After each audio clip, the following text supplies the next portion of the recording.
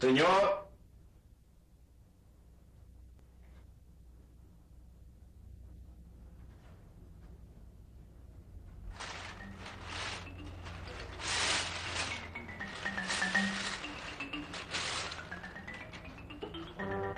No te muevas. No te muevas.